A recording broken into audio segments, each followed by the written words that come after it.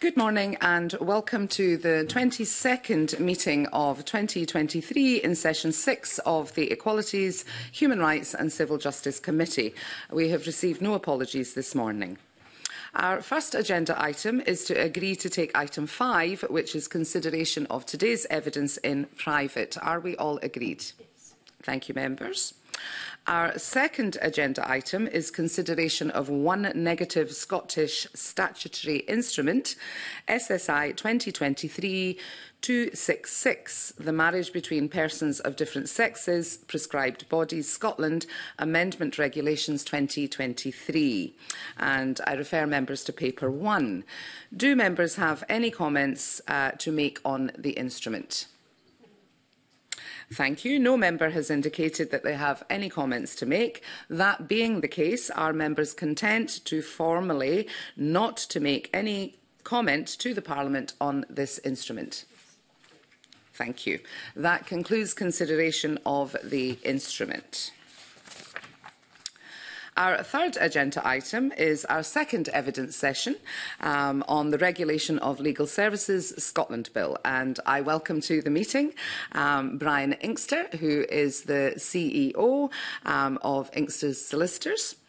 Chris Kenny, uh, former Chief Executive of the Legal Services Board of England and Wales, and currently the CEO of the Medical and Dental Defence Union of Scotland also Professor Stephen Mason from uh, University College London and Naima Yakub Sajid, Solicitor and Director of Diversity Plus. Welcome to you all. I refer members to papers 2 and 3 and note also that the Delegated Power and Law Reform Committee is this morning taking evidence on the bill from the Minister for Victims and Community Safety. I will invite each of the witnesses to make some brief opening remarks, should they wish to do so. And I will start with Brian Inkster, please. Thank you. And thank you for inviting me along today to give evidence. Um, as you introduced me, I'm um, the Chief Executive Officer of Inkster. It's a law firm I formed in 1999. We operate what I call a plug-play law model, where uh, we have consultant solicitors who are self-employed and who work under our umbrella with us, providing them with back office uh, support and services. And we have offices uh, in 13 locations around Scotland, from the Highlands and Islands to the Central Belt. Um, I've been following regulatory reform very closely over the years, uh, and especially since the Robertson Review was published. And I've written quite extensively on it at, uh, on my blog, which is the Time blog.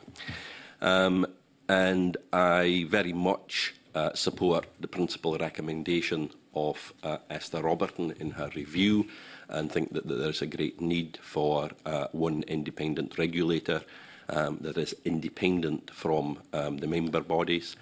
Uh, I think there is a clear conflict of interest between um, a regulatory body also representing its members, and I think that conflict should be removed and the current bill does not seek to do that in any way at all.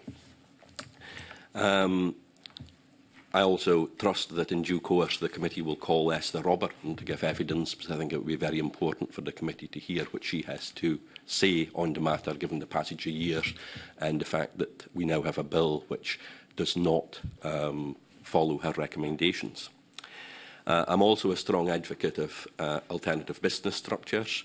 Uh, I think it is disgraceful that the Legal Services Scotland Act 2010 has taken 13 years to be implemented insofar as ABS is concerned, and still 13 years later has not been fully implemented, and we do not have the first ABS as yet in Scotland. Uh, and I think the committee should make inquiry uh, as to why that has taken so long to happen uh, and why there has been a delay basically on the part of the Law Society of Scotland and the Scottish Government in implementing uh, that legislation over a period of 13 years. Um, and I do not believe there should, is any reason to have a percentage ownership, um, a, uh, a solicitor percentage ownership in ABS is at the moment Uh, whenever we have for the first ABS, it's 51%. The bill suggests 10%. Uh, and there is simply, as far as I can see, no good argument for having uh, any percentage uh, there. Uh, and in the last session, where you took evidence, uh, Sharon Horwitz uh, gave very good reasons, I believe, for why uh, ABSs uh, should be uh, allowed to be and be uh, have no percentage uh, rest restriction. Thanks, Brian. Uh, Chris? Thank you, and again, thank you for the invitation. Let me first associate myself with everything that Brian had said, which I would uh, wholeheartedly agree with. I wanted to give evidence really to share experience from England and Wales, where the model there offers, I think, some very strong learnings, both positive and negative. Positive about the benefits which alternative business structures can bring in terms of consumer service and innovation. And I absolutely share the great frustration that Scottish users of legal services have been denied that for a considerable period. And there is still a restriction at the heart of the bill, which actually is not only nonsensical in policy terms, but dare I say it is actually rather offensive to the 99.5% of the population who are non lawyers. Um, so there is a flaw there. Um, in terms of achieving benefits which have been achieved south of the border. But the benefits that could have been achieved south of the border have been actually far less than they might have been because of a failure to deal with the complications of the regulatory architecture. The continuation of representative bodies being the ultimate regulator, even if there are Chinese walls, even if there are intervention powers for government or for a regulator mean that far too much energy is given to arguments which, dare I say it, appeal to regulatory anoraks like uh, those on this side of the table, but actually do little or nothing for the public interest. There was a really compelling vision set out in the Robertson report of getting beyond that, of creating a lean regulator able to look at all legal services in their entirety, having no temptation for regulatory capture or conflict of interest. The bill recognises those dangers, but by setting out a raft of um, intervention powers for government, actually produces a cure which is worse than the disease it's attempting to resolve. A cleaner, more visionary approach, as advocated by Roberton gives the real opportunity for a step change in the Scottish legal industry. And I would hope that Parliament will attempt to get back to those first principles rather than live with the um, really quite odd and clumsy compromise that the bill represents at the moment. Okay, thank you. Um, Professor Stephen? Thank you very much, Convener, and thank you to the committee again for inviting me to be with you this morning. Um, for those who don't know my background, I am a, a member of the English Bar by training, um, Professor of Law at UCL, and I carried out an independent review of legal services regulation in England and Wales uh, between 2018 and 2020 with a follow-up report on consumer harm um, last year. In carrying out that work, I did talk to Esther Roberton um, as part of my review, uh, and took her views into account as I was looking at what might be a better resolution for the future for uh, England and Wales. Uh, just a few opening comments. Uh, some of the things in the bill um, I support, like the extension of the Commission's powers to unregulated providers and entity regulation. There are some things not in the bill that I would support, a single independent regulator. Um, that's the conclusion I came to. It's the conclusion Esther Robertson came to. It's the conclusion the Competition and Markets Authority came to. It's the conclusion that New Zealand has come to. The conflict that Brian referred to between regulatory and representative interests is simply, in my view, untenable in the 21st century. There are some things in the bill that I'm very uncomfortable with, which, at least in its original form, uh, were the powers given to Scottish ministers. uh, I see those as entirely consequential on the decision not to have a single independent regulator. So one flows from the other, and both, in my view, are unfortunate. I can see no merit in reducing the 51% threshold for ABSs to 10%. In my view, it should be removed entirely. And I do not support the proposition to regulate the title lawyer and I'm sure all of those things we can come back to later in this session. And finally, I think um, the bill misses some opportunities to learn from what we've done or not done um, in England and Wales, particularly the incomplete separation of regulation and representation. There are, I think, some difficulties with the regulatory objectives which are carried over and still exist in the draft, um, and the problems of undue complexity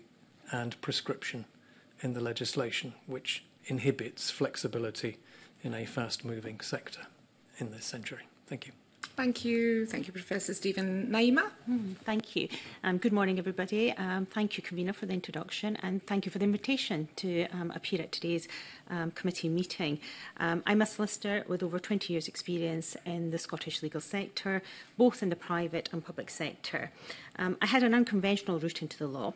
I left school with unsatisfactory results, which would be probably a kind way of putting it, at the age of 17, to be married. I studied an SNC in business studies at college, later HND in legal studies, before resetting my hires to enable me to gain entry to university to study law. Therefore, if I get quite passionate about the legal se sector, it's probably because I've had a really difficult time to get into it. So. I completed my law degree with two um, young children and escaped academia for a short period to build up much needed experience. And I worked as a parliamentary researcher in 1999 when the Scottish Parliament was reconvened.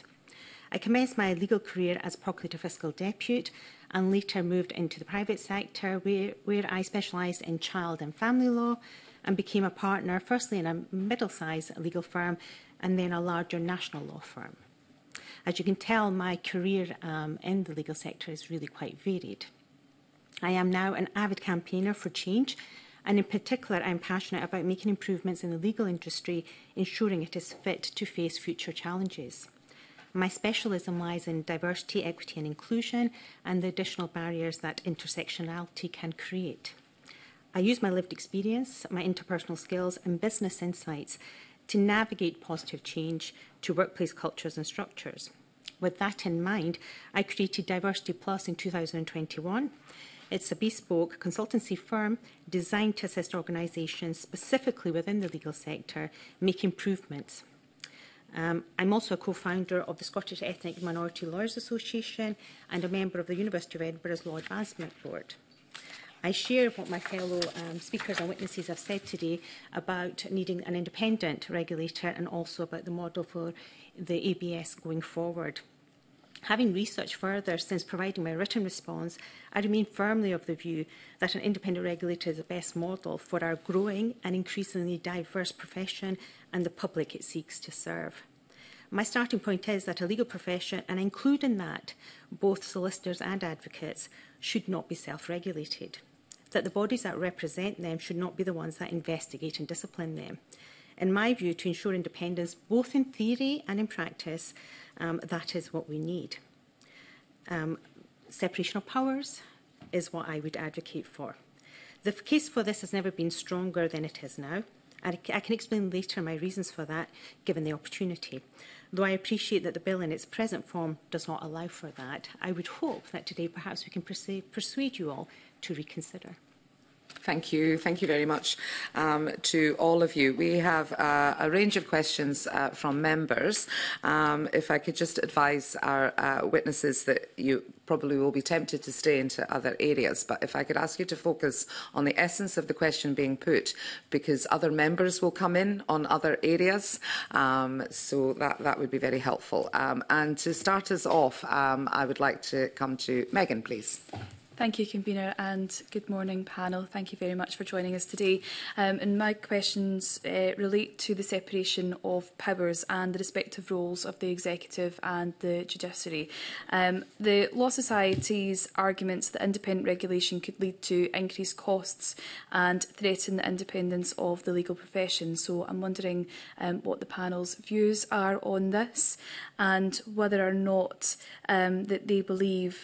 um, that the the Regulatory Committee is a sufficient guarantee of independence.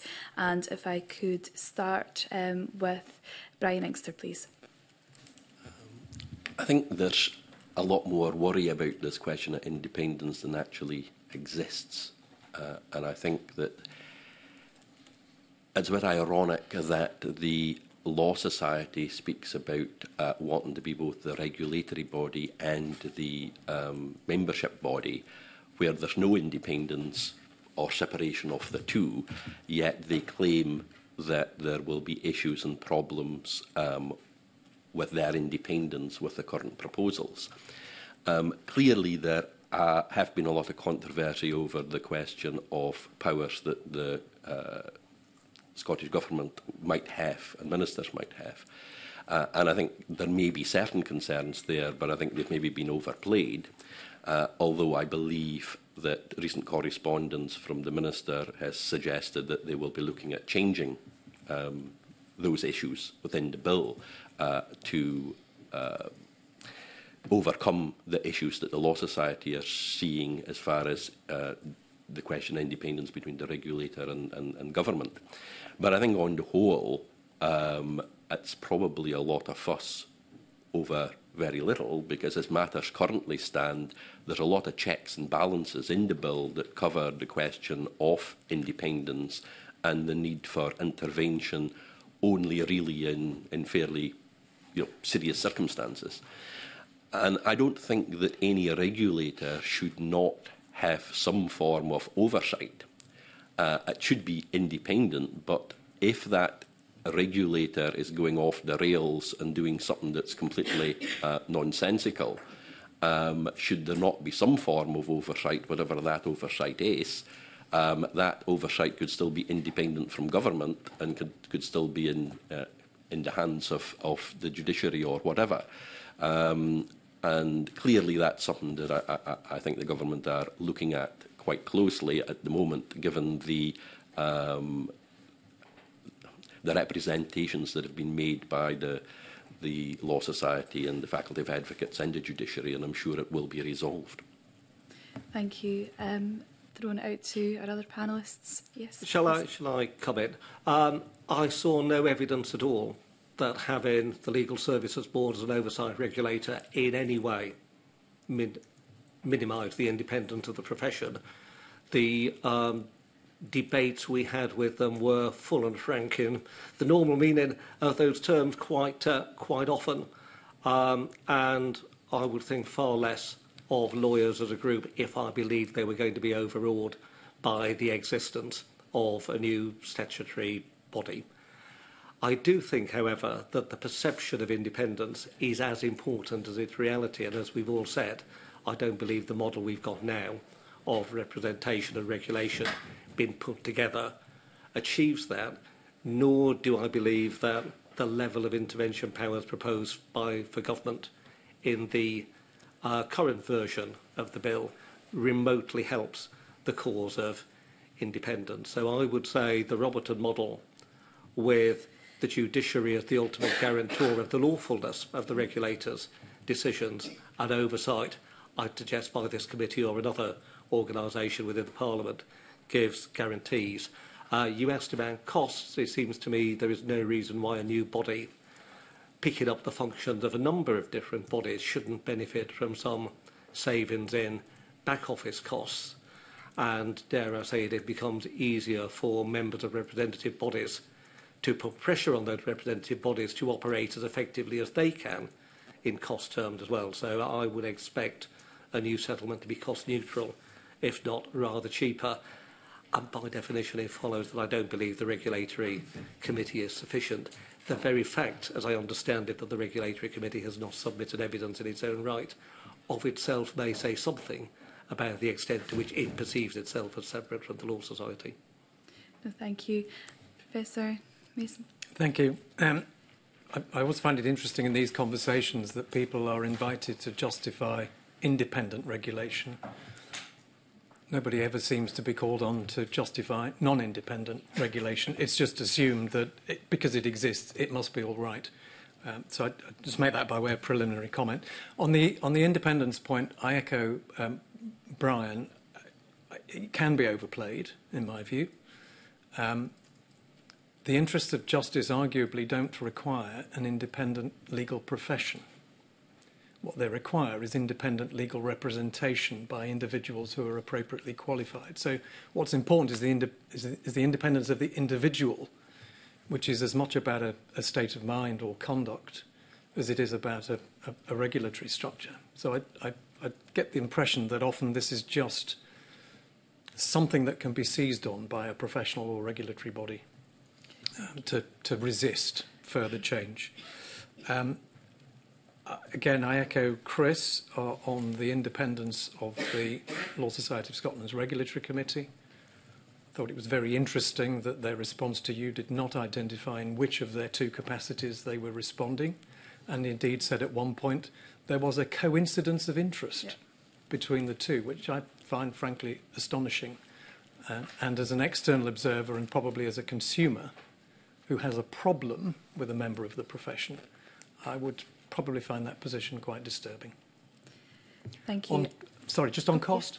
Um, I think the evidence we have is slightly different. We don't have a single regulator, we have an overarching regulator, we have a multiplicity of bodies, but there are instances of alternative regulation that do appear to be cheaper than the current model. And finally, there is a cost that is not factored into this. which is that the current model is expensive and it excludes people from legal representation.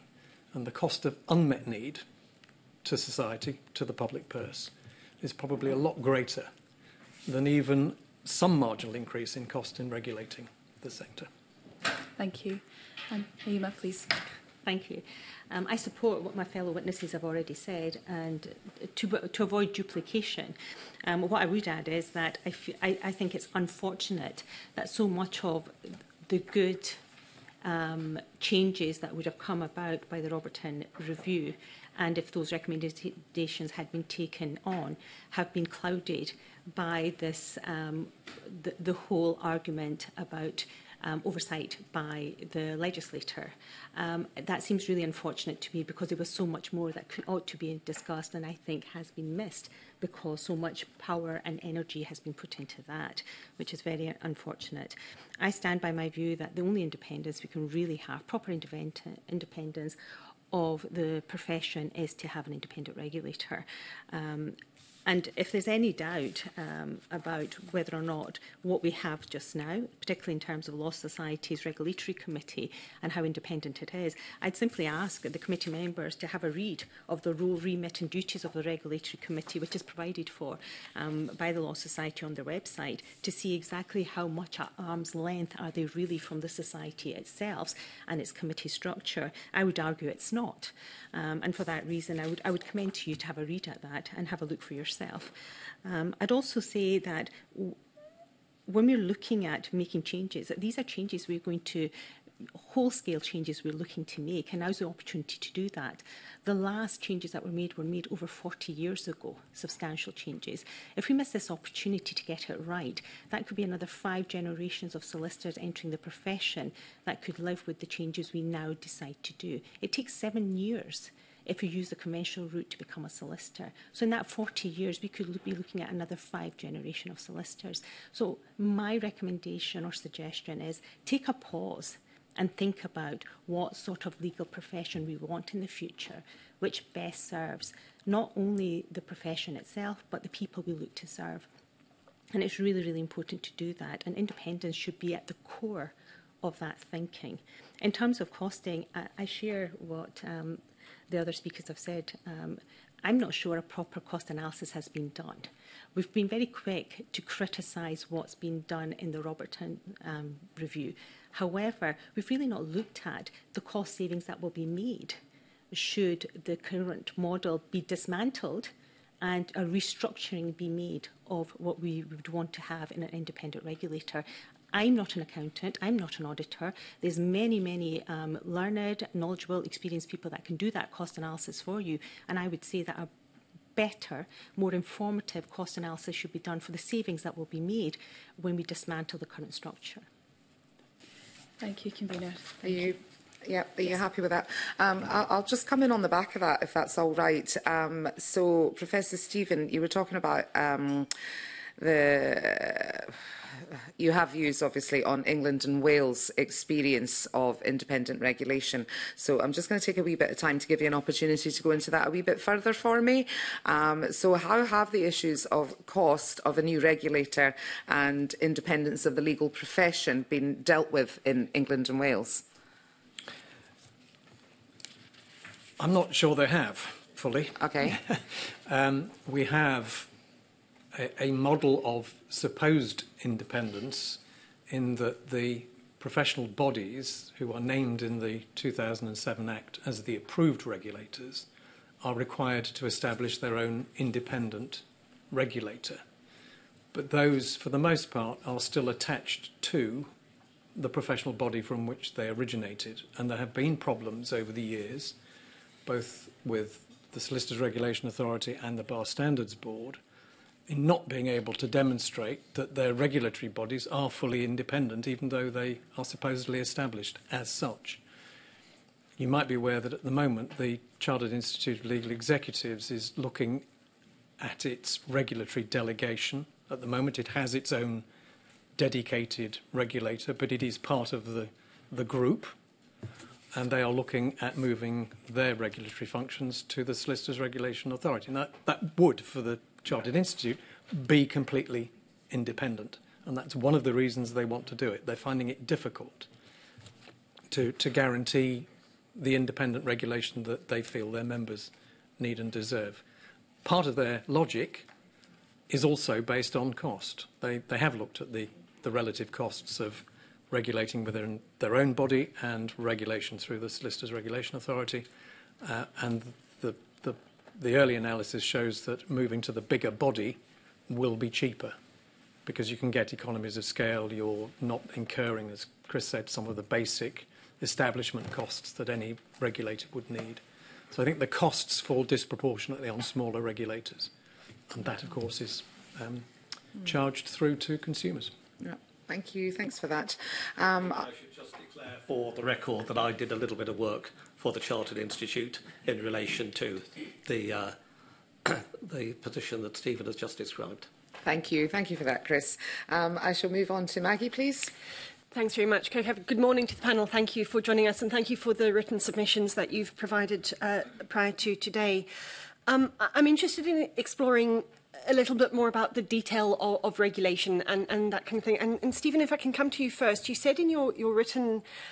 uh, contribution that the difference in the treatment of the Law Society and the faculty um, in the um, proposed new framework isn't justified, the Category 1 and Category 2 regulators. Can you just say a little bit more about that, please? Uh, yes, it's fundamentally based on a concern about regulation by profession, which is what we have and what is proposed moving forward, as opposed to regulation by activity. Okay. From a consumer's point of view, from the buyer's point of view, I want a particular service. I may choose to have that service from an advocate or from an appropriately qualified solicitor.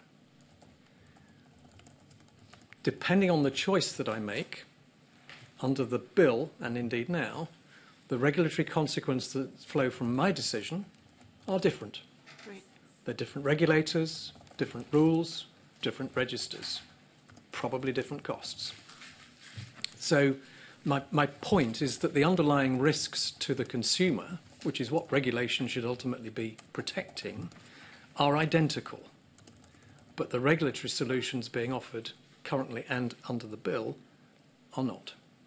and I can see no public legitimacy or consumer protection arg argument that justifies that split. Okay, that, that, that's, that's really helpful. Uh, setting it out like that, so th thank you for that. Naima, you mentioned it in yours that, that it was just unnecessary uh, complexity that this this um, two two category reg regulator uh, system. Can can you is it along the same lines or is there something else in, in there that we, we're trying to get at? No, I, I think um, particularly for service users, it's particularly, me uh, uh, as a solicitor, I find it difficult to navigate um, through the complaints procedure and have two separate categories. So imagine what it's going to be like for service users.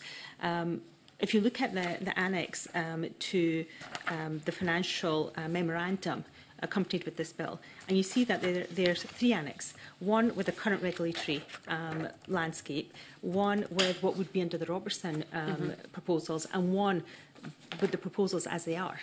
Just looking at those for illustration purposes can show you the complexities. And I, and I, I shudder to think um, how anybody, a layperson, would navigate through those complexities to really know if they are getting transparency and really fully understanding the complaints procedure. So I think adding a further category, if anything, I mean, this bill proposes to simplify the procedure. That's not what it's doing by adding a further layer and okay. further category to it. Okay. No, that, that, that's clear. Um, just, just in terms of the, the, the sort of overarching regulatory objectives that we might, we might uh, choose to, to bring into place with this legislation. Um, Nima, if, if I can stay, stay with you, how would you see what, what, what would you see as the best way of updating the regulatory objectives and the professional principles for legal service providers? Um, do, do you see enough of that in this bill, or is it just as you say, it, it's added complexity. We, we're not really sticking to the principles of, of independence, of, of clarity, of, of, simplicity for consumers or practitioners. I, th I, think to add the principles and the objectives into the bill is a good thing. Mm -hmm. um, what I don't agree with is the mechanisms through which those will be um, regulated, investigated um, in those terms, because that is highly complicated. So it's not the fact that we've introduced the principles into the bill. That is a good thing in terms of um, for consumers, for, for service users, I think that's a good thing because they then have the clear principles set out in, in legislation as to what those principles are. I think the complication comes in how those principles are then in practice applied and whether or not we're adding further complications by the scheme we're looking to introduce. That would be my concern. Okay. Okay. Because I don't think that has simplified it. Okay. okay. Do yes, Chris. I would say that it's a very good thing to have the regulatory objectives and the okay. principles in the bill, but the fact that they're there actually of itself makes the case for a far cleaner, simpler regulatory structure. It's only at the level looking across the entire profession um, and industry, and I use both words mm-hmm. deliberately, mm -hmm that you're able to deal with cross-cutting issues like the level of diversity in the profession, like thinking about the structure of the market, whether consumers are getting the best deals, whether the right incentives are in place for transparency and, and other things. And just to echo what you uh, what we said earlier, the very fact of complexity of itself undermines public confidence. Okay. If this is a system people feel they can't understand and can't navigate, it will look, even if all the protections in the bill work to the best degree, as if it's jobs for the boys, and the perception of a lack of independence is almost as harmful as the reality of it. Can, can, can you just say a little bit more about, you used, you used the two words there, uh, profession and industry, can you just say a little bit more about how, how you understand that as, as a practitioner and, and how you think consumers might I mean, sh should consumers be worried about that at all? I suppose is, is is one of the questions, or should they just be able to rely on the system, the simple, you know, straightforward, clean system that that you've been talking about? I think there are two levels. Consumers will generally interact with an individual practitioner, mm -hmm. maybe with his or her firm, but more likely an individual, and they will want reassurance that if that individual turns out to be a rogue, that there will be a way of their immediate um, issue being resolved, and if further investigation mm-hmm. shows that this is a pattern, that there is some way of protecting both public and profession by removing him or her. However, I think regulation is more important than that when it comes to um, what my former opposite number in New South Wales, Steve Mark, used to call the ethical infrastructure of the profession, there will be issues which are not about whether solicitor X has behaved well or badly, but will be about the way the market operates, the way incentives operate, how far access to justice is or isn't being achieved, which are not really addressable at the level of specified rules of conduct okay. for the individual and rely much more on systemic strategic interventions. Those are hard to do from my former position as an oversight regulator. Mm-hmm. I'd submit they're almost impossible to do if you're in a representative body, some of whose preconceptions may need to be challenged to achieve those good social outcomes you're looking for. Okay, th thanks, that's helpful. Brian, if I can come to you, S same sorts of questions around the com complexity of, of regulator and, and and the, the point of, of putting the principles in the, in the bill, on the face of the bill? I don't think I can usefully add much to what okay. my fellow witnesses have said. Uh, in my written submission, I uh, made it clear that I thought that the two tiers just added unnecessary complexity uh, to the whole thing, and that following the principal recommendation of the Robertson Review would simplify things. Uh, and again, why are we uh, complicating things when we could be making them more simple? Okay, thank you. My final question, Stephen, if I can come back to you. It's it's, it's around transparency and I suppose transparency not only for consumers and individuals but, but more generally for society. Do you think the proposals aimed at um, increasing transparency, reporting, that kind of thing, is that enough? Or have, does the bill have the balance of, of those kinds of issues right or are there things that we should be thinking about and, and we not? one of the conclusions I came to when I did the second part of, mm-hmm. of my review on consumer harm was that I remained almost completely unconvinced that disclosure and transparency gave much benefit to consumers. Right, okay. It does in the abstract, it's a, it's a great principle, yeah. uh, and indeed for those who look, having the ability to do that through a register or other forms of, of comparison are clearly valuable. But for the vast majority of individuals who use legal services, often in times of distress or vulnerability, mm -hmm. those things don't actually touch where, where they need to. So I, th- I, I think it's, it, it's difficult. I, I, I could never say don't do it, yeah. but I would probably question whether the value of doing it is as great as its proponents often. It, it kind of, from what you said, it's almost like it's at, uh, it's at the wrong end of the process, isn't it? It's, yes. It, it, we, we need to look upstream and make sure that we don't get to the point where we need to be asking those kinds of questions. And do you think that, given what you've already said, that there, there are ways of, of doing that, put, putting in enough upstream stuff around uh, scrutiny, around regulation, it, to ensure that we that, that actually nobody needs to worry about transparency because, because we sorted, we've sorted it? I, am almost inclined to think that support isn't a regulatory issue. It's, okay. it's something that, that a, a client or a consumer needs help and support with on, on their route to legal advice and representation. It may well be that we could train practitioners better to help and support consumers mm-hmm. in making the choice and having made the choice and how they can relate better to their own legal advisor. But I'm, I, say I'm, yeah. I'm, i remain unconvinced about the systemic solutions. Okay, no, uh, that's that helpful. We've, we've heard about the, the need for sort of uh, either training, but actually just better awareness and, and societal education and literacy about what's available and what isn't. I'll yeah. leave it there.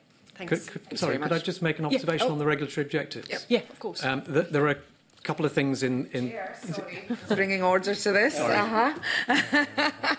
yes, I will allow you to continue. I'm Professor. sorry.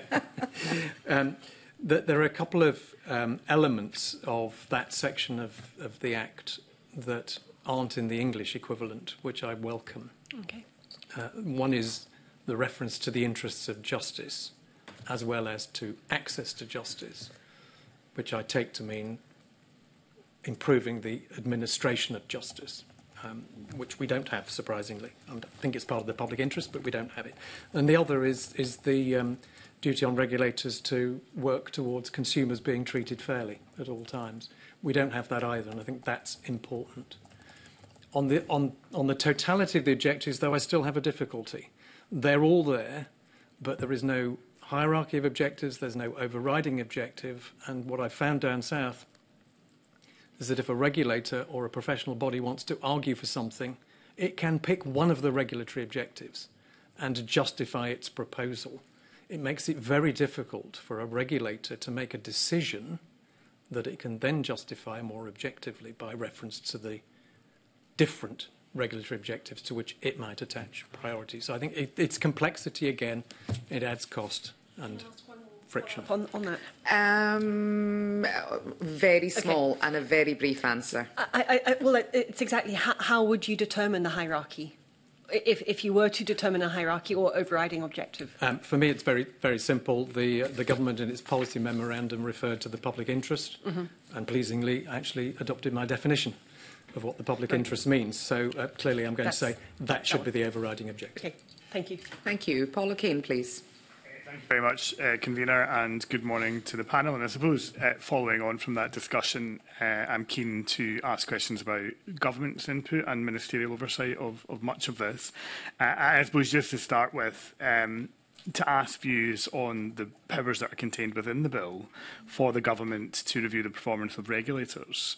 Uh, just a, a general view on, on, on that at first, if, if possible. Um, I'll go to Chris Kenny first, please. Well, yes, I probably have the I have the T-shirt and the experience. If government could do regulation, government would do regulation. It wouldn't feel the need for independent regulators to exist. Are independent regulators perfect? Absolutely, they're not. Do they need a degree of oversight? Yes, they do. But is that oversight best achieved by micromanagement, target setting? a whole raft of detailed intervention powers? No, I don't think it is. Um, the powers that are in the bill are modelled to some extent on those the Legal Services Board have in relation to individual regulators. They are rarely used in practice. Finding ways of doing that in a proportionate way is fiendishly difficult. And the challenges they're specified in such a degree of detail that you may well want to intervene on a couple of legs of them, whilst not tackling the main question, which might be about the governance and culture of an organisation, which is why I would say, with the greatest respect to civil servants, and I was one for many years, they should really keep out of it. They should be involved in taking a policy view on how the framework as a whole operates, and every decade, two decades, four decades, as Naima said, perhaps propose a fundamental policy reform, but the oversight ought to come from parliamentarians rather than government, from the legislature rather than from the executive, and ultimately from the from the judiciary. There's a great danger, I think, in what's in the bill at the moment, that it gives false comfort that if we can intervene on all of these things, nothing will ever go wrong. Well, the likelihood is the thing that will go wrong is the one thing you haven't been able to specify in advance. Are you, do you have a supplementary? I, I do, yeah. yeah. Um, I, I suppose go government have written to this committee um, to say that they are considering amendments to the bill uh, in order to um, reduce the influence of ministers. And I know that there are concerns across both the legal profession and, and the bodies to which we've made reference this morning about that ministerial oversight. Um, do you see that there is adequate scope uh, to amend the bill as it stands to reduce that ministerial oversight? Just in reference to the, I suppose, the contribution you've just you've just made. I think it's quite difficult because of the way the intervention powers are specified. Those powers don't seem to be ones that lend themselves easily to be transferred to the judiciary, and I'm not sure they lend themselves easily to be specified in terms of reference for a parliamentary committee. I think you need something rather cleaner. My, my worry is we're in a, a cleft stick at the moment because to withdraw all those powers actually makes the lack of independence within the overall framework that much more stark. Mm. Um, but the cure is almost as bad as the disease, if not, uh, if not worse. So I don't think there is a fine-tuning answer. I think you probably need more fundamental adjustments to the architecture of the bill. If I can just convene explore that. So, uh, you know, uh, just to, to clarify that point, actually the bill needs to be reformed fundamentally rather than just amendment at this stage? Do the government need to reconsider the approach? I'll defer to the expertise of parliamentary draftspeople uh, to uh, just work out how fundamental amendment is is possible. Um, but certainly I don't think it will be a matter of tweaking who does what, transfer in, you know, delete Scottish ministers, insert mm. the hmm. judiciary, I don't think would be sufficient to deal with the fundamental tensions in the architecture. I want to convene if uh, any other uh, panelists may want to comment on, on this issue more broadly. Yeah. Professor. I'm slightly concerned again that if, um, to, to, adopt Chris's terminology, if you if you delete ministers and insert, for instance, the Lord President, you are turning the judiciary into a direct regulator because of the nature of these powers, which I think, uh, over the short to medium term, will place the judiciary in a rather invidious position yeah. as well. Um, and so I think the government's boxed itself into a corner. It, it said we can't have independent regulation, we can no longer sustain self-regulation, we've got to fudge something uh, in, in, in whatever this mix is. Um, and I'm afraid the fudge is probably not going to work. Okay. okay. Thank you, Convener. Thank you. Uh, Megan would like to come in. You, Convener, and it's, it's on the point that you just raised there, Professor Mason, on the the, the concerns in relation to the Lord President and the role that Lord President would have with the government if the bill was to go through as it stands just now, because my concern is from the first reading of the bill was that it could draw the two of them into a sort of collaborative ad administration, um, and I'm just wondering, you know, what what the impact of that could be, um, and also in terms of section 20 of the bill as well, it's that term there, measures open to the Scottish ministers, that concerns me again, and it's in relation to the performance targets that could be set potentially imposing penalties. I'm just wondering if that is, is your understanding um, and what the implications could be there as well. Uh, I, I mean, I think potentially it could lead to either perceived collaboration or indeed outright conflict between the two, neither of which I would regard as, as desirable and deeply uncomfortable for the for the Lord President. So I, I can't see any way in which, if you take the public interest as a guiding light, that those things are in, in the public interest. It could undermine the position of the Lord President and the judiciary more, more generally, um, and, and lead to perceived interference by the ju judiciary in, in, in the regulation of lawyers. For the Committee's information, the situation in England and Wales is that the analogous role of Lord President, the powers and place of the system is very constrained, mm -hmm. and it's really the Lord Chief Justice uh, working with the Lord Chancellor on the appointment, appointments to the overarching regulator, which is quite important, I think, in managing creative tension between the two. Like Stephen, I feel uneasy about a very great degree of both policy and managerial interventions being given to the judiciary, uh, which could,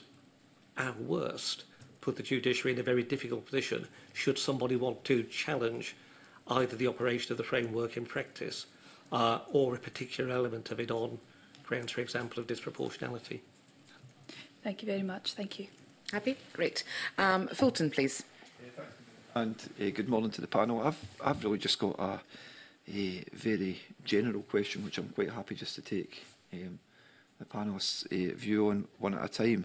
Um, and you can give me, the convener will be glad to hear this here, you can give me as short or as long an answer as as you, you feel. So I'm just wondering, I, I, I've heard what you've said already, uh, including the, the, the start and the, the opening statements. Um, at which point I was remote. Um, so I think I know where each of you might go with this, but to give you a chance to put it on the record, um, do you think that the proposals in the bill will assist in making it easier for people to find a lawyer who can advise them and help them to enforce their rights? And I'm happy to go from my left to right. Short answer, no. I don't see anything in the bill that actually is going to do that because, if anything, it's just adding complications um, to a system that we're all trying to make simpler and make easier for um, service users. Um, so my short answer to that would be no. Um, I think what is really needed is proper resourcing of services, particularly, and this won't come as a surprise to any of you here, um, legal aid um, and the like. So no, I don't think that what the bill, if, if that is the objective of the bill as it stands, I don't think that objective is met. I largely agree. Um, it looks as though we're going to end up with four different registers, um, and a consumer will need to work out which type of person they're approaching for legal advice and representation before they can go and search the right register, or, or potluck, look at a register and then find a find a practitioner. It just seems rather illogical to me, and um, I, I don't see how that makes it easier. The change is an alternative business structure, although far less um, they need to be maybe somewhat helpful at the margin in terms of greater competition diversity, but the benefits, if any, are going to be very marginal. I would agree. Uh, I don't think the bill doesn't really set out to address that issue in any real shape, form or fashion. Uh, it's really more about regulation, and I don't think there's anything in it that would would really answer your question in the affirmative. Okay. Can Cymiad a foedd yr asgoff, Stephen o'n MDLC's uh, toes in terms of where they were going. I'll leave it for that just now, but I might come in Absolutely. towards the end, if that's all right. Yeah, please do indicate. Um, I'll sort of like continue on that theme, actually, whether the bill sort of like uh, is achieving its objectives. And um, I'm interested in the complaints system. Um, and obviously, you know, there's huge issues with the current complaint system. And I suppose I want to know whether this bill um, addresses those. And I'm asking, I suppose, from the view of the average person on the street, where the system is quite impenetrable already. Um, so I've heard many uh, sort of like people that have made representations regarding um, how their complaints, not only is the system difficult to navigate, but getting satisfaction out of it has been extremely difficult at the moment. And will this bill, uh, it seeks to address that, will it seek to address that. Um, and I'm particularly interested in underrepresented sort of like marginalized groups um, you know people who are the poorest in society or from ethnic minorities for instance um, so I think I'll direct those areas to Naima and Brian and I'll take Naima first please hmm. It's a, it's a question that probably requires a, a little bit more analysis and a little bit thought going into it. My, I would say, uh, as a, as a brief answer, I would say no. Um, I don't think that now you're going to have to repeat the very beginning of your question, Camille. I'm so sorry. I've had a yeah, no, no problem. I mean, the, the main thrust of it um, was basically through this bill, um, will uh, a citizen uh, be able to make a complaint in a least traumatic way as possible? Um, can they navigate the system? And what is the likelihood of them getting an outcome with some kind of clarity? I think as it stands, my, my answer is no, because what we've done is actually added, apart from anything else, we've added a further category um, into a, a system that we already have existing. What we're trying to do with this bill is tinker. We're not, we've not um, saying the structure's wrong and that we need to scrap it and restart and rebuild. What we're trying to do is tinker at the edges to try to improve a system that is all, is far from perfect. If anything, neither the public the, the user service user nor the professionals like the system as it is. And instead of saying to ourselves, well, actually, let's look at this deeply and more um, in more detail and decide that these structures are actually wrong and rebuild with, and you, you specifically asked about marginalised communities, and rebuild with marginalised communities at the heart of that, what we're going to have is uh, we're not going to have a complete and future-proofed system going forward. We're only tinkering with the edges. That's, that's my personal view. We've got to think about where the profession is now. The profession itself has never been more diverse. If you think about 40 years ago, the profession was mainly male. We now have majority women. The profession is now 57% women. The, the, those that are coming into the profession is two-thirds are women. So is the structures the way they are now designed for the diversity we have within the profession and the services we now look to provide because the profession itself, the industry itself, is becoming ever more diverse. So, no, I don't think by just tinkering and improving on what we already have is mm. going to be enough for that purpose. I think the only way you're going to get more clarity, the only way the service users are going to be able to have uh, much more simplified procedure, in my view, is by having an independent regulator. Okay. And having a more streamlined approach. I think what we're trying to do is improve the processes that we already have because we feel the processes we have at the moment cause delay, cause confusion, which is correct. Mm. Everybody is saying that. But I think by only tinkering with the processes is not enough. Okay, thank you. Um, Brian? the bill doesn't appear to deal in any real way with the detail of how complaints would be dealt with, and indeed it seems to leave that very much uh, to in the hands of the new Scottish Legal Services Commission, which is a renaming effectually of the Scottish Legal Complaints Commission. And I think that renaming is quite confusion, confusing as well to the general public that suddenly the, the word complaint has vanished. Um, but it's not just a rebranding, is it? I mean, the bill does have in it sort of like a proposal to extend the powers mm. of the SLCC?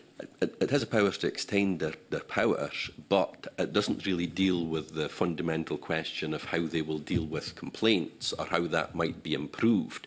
Um, the Roberton Review uh, made it clear that from all angles there was criticism of how the complaints process was dealt with yeah. uh, and that there needed to be improvements there. But the bill doesn't in any way seek to address how um, the complaints process might be improved for the benefit of both the consumer and for solicitors. Um, in my submission, I made a few comments about mm. issues that I thought were uh, needing to be addressed. Whether ultimately they will be or not uh, would be in the hands of the new um, commission rather as in the hands of, uh, of uh, Parliament or the government in, insofar as the bill is concerned, because that detail is not gone into in any way. Whether that should go, that detail should appear in a bill or not, I, I, is another question. Um, but I think that if we're going, if we if we see a need to sort out a problem which the Robertson Review uh, said existed, which is the, the complaints process isn't fit for purpose, um, we really should be looking at tackling what are the issues that do not make it fit for purpose and what do we need to do to make it better. And that's not something that's really being addressed as such by the bill.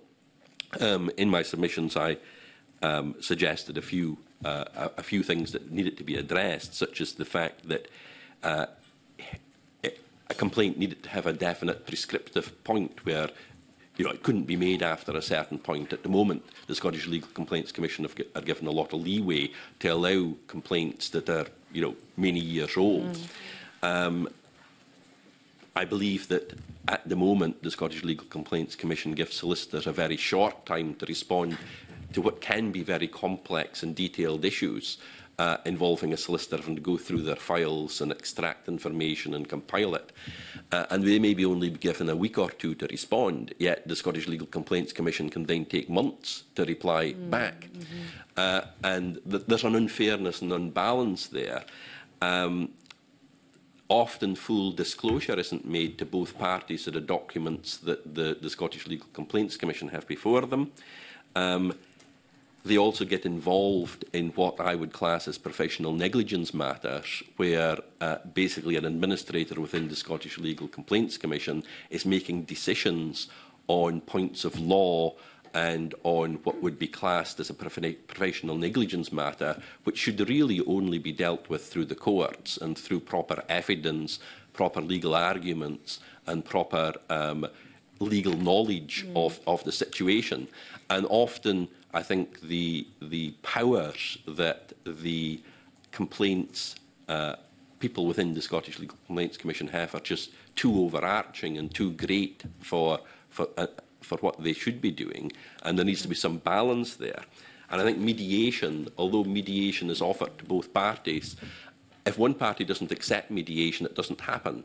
And I think if mediation was made compulsory for complaints, we would see a lot of complaints being settled earlier without too much problem and without the expense that the Scottish Legal uh, Complaints Commission currently costs. Mm. Okay, thank you. Thank you for that. Um, I just have a small, I'm mindful of time and I still have two colleagues that I need to bring in. But um, Naima, just to come back to yourself. Um, in your uh, written evidence, uh, you did say uh, regarding the Law Society's dual role, um, and there's a risk of conflict and bias as a result of the real possibility of injustices being done, um, both for the professional and the public. Um, can you give me an example of what that actually looks like? Oh, gosh. Well, I, th I think um, And I would say, uh, Chris actually put it very, very well, it's, it's a perception is as important as a reality. So if I was to go into examples, that doesn't really help the committee in that respect. It's very much the case of two hats being worn by one organisation. Um, to me, that is a direct conflict of interest. And, the, and it doesn't matter how we may use our words, how we may try to, to change um, where that balance is struck. The reality is for one organisation to wear both the hat as a representative and as a hat as a regulator is a direct conflict. And that is my starting position. I mean, if we are a profession that has that is built on principles of rule of law, fairness and justice, equality, how does that fit in with one organisation wearing both hats? The Law Society does its role as a representative of the profession very well. Um, I, would, I would go as far as to say I have many colleagues and friends in the Law Society. I work with them on a number of initiatives. But for them to then set the standards and for them to be representative of the profession, but then also adjudicate mm. on, those, on those same people who are seen to have fallen short of the standards to me seems um, a direct conflict. I can't put it in any more simpler terms. Um, and yeah, no, that, be, that's very helpful. And it may yeah. be that we compare it to other professions and say other professions self-regulate, but we've mm. got to but we've got to see each profession in isolation and its role. The legal profession has principles that we must, must, must adhere to that are different to other professions. Okay, thank you, thank you for that. Um, Annie, please. Thank you, convener. Good morning, panel. Um, I've just got a couple of small questions which I hope will generate some conversation.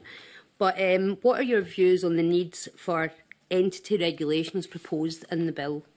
Um, and I think we'll go to Chris first, if you've got any thoughts on it. this is one of the stronger parts of the bill, um, and one of the things where the introduction of alternative business structures led to benefits for the entire uh, sector. Uh, the legislation on alternative business structures, far, far too complex in England, uh, possibly too complex in this bill, but better, I think, specified that there needed to be both a senior professional post within um, an ABS and a senior finance and administration post so that you could take some assurance that this was a robust, well-managed organisation that wouldn't disappear into bankruptcy overnight and the proper professional standards were being adhered to. The Solicitors Regulation Authority very wisely effectively translated those posts into controls at the level of the individual firm. And that seems to me quite important because something may have gone wrong for an individual which you may be able to put right quickly, but the cause may not have been rampant lack of professionalism by the individual lawyer. It may have been something either about lousy administrative systems within a firm, it may have been something harder to grasp around culture. Uh, and finding a way for regulators to be able to get a grip on those kind of issues when they emerge via casework, but also providing the right incentives for firms as good businesses to concentrate on both those areas is, is really important.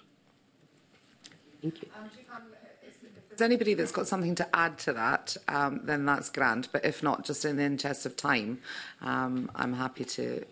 Nobody else. Yeah, are you happy? Yeah, brilliant. And one further question. Yeah. I'll, I'll put this to Professor Mason uh, originally.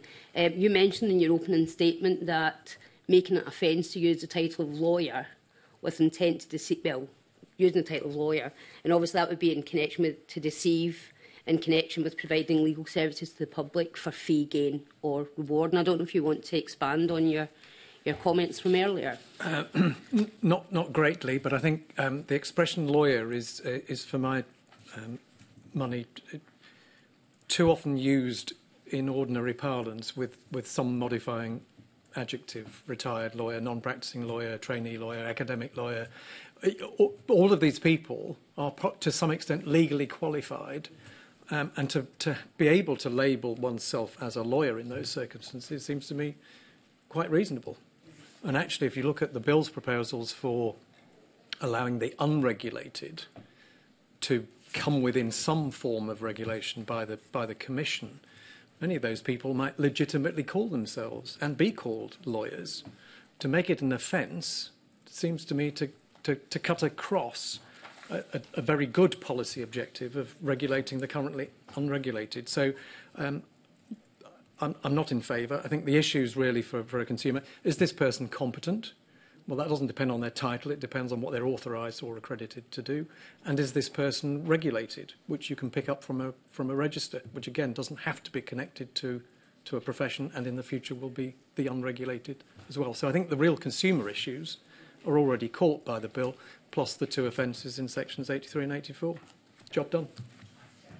I think that's answered my question perfectly, Convener. Thank you very much, Professor Mason. Thank you, panel. Thank you. Thanks very much. Um, Karen Adam, please. Thank you, Convener, and good morning to the panel. In the interest of time, Convener, I am happy to open this up to whoever has a burning desire to answer. Um, I would like to know what the witnesses' views are on the proposals which will allow regulators to disapply rules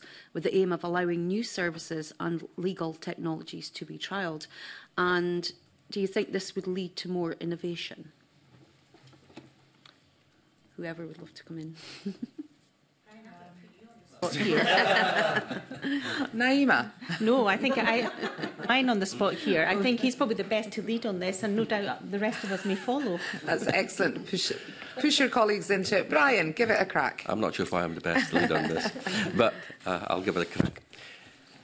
Um, the sort of question I think is, is linked to this relaxing regulation to allow things like technology to come into play. Is that the, yeah. the thing? And again, I think it's maybe an overstated thing that this may even be necessary because to what extent do we need new technology that we need to um, relax regulation to experiment with to see if it's going to work for the public or not? Mm. And I think it's maybe a bit kind of pie in the sky stuff rather as actual necessary, needful stuff. Um, they speak about these um, sandboxes where you can play with technology and safety um, uh, uh, and, and, and, and know that you, you know, the regulation might not apply for it specifically while you're doing so. I think it's, it's fair enough to have this, but I don't know that there's an actual desperate need for it and how much it'll actually be used. Um, there's no harm in having it in the bill, I don't think, but um, the need for it is maybe very limited, I would have thought. I wonder whether in practice much will turn on the mindset of innovators being prepared to be open with regulators in the early days to say, does this cause any problems? And regulators also been open to innovate, encourage the measured taking of risks, the extent to which it leads to the disapplication of any rules, mm. as opposed to a degree of transparency at a level of detail that might not otherwise happen. Okay. Uh, perhaps remains to be seen. But like Brian, I think there's no harm in having the provision there, mm. just in case uh, there is some great discovery in Silicon Valley tomorrow that can transform legal services in Paisley next week. Thank you. Thank, you, Karen. Can, can um, uh, 30 seconds. uh, it seems to me that innovators and entrepreneurs who are not lawyers and for whom reg, um, regulation is a current barrier are more likely to go into the unreserved territory. And that's why the Commission's proposed powers to regulate the unregulated are so welcome and, and so, so necessary, in my view, because that's where a lot of consumer harm could be done by innovation and entrepreneurialism that is not otherwise controlled. Thank you. Thank you. Naima, would you like your 30 seconds as well? No, no, I actually um, very much share the thoughts that have already been um, expressed by my fellow, fellow panellists. Um, my only thing would be that